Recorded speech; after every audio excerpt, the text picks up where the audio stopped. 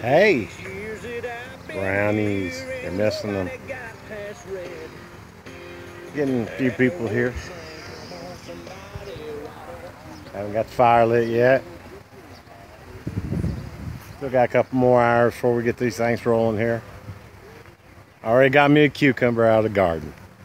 So, y'all get your asses here. Gonna be a good time.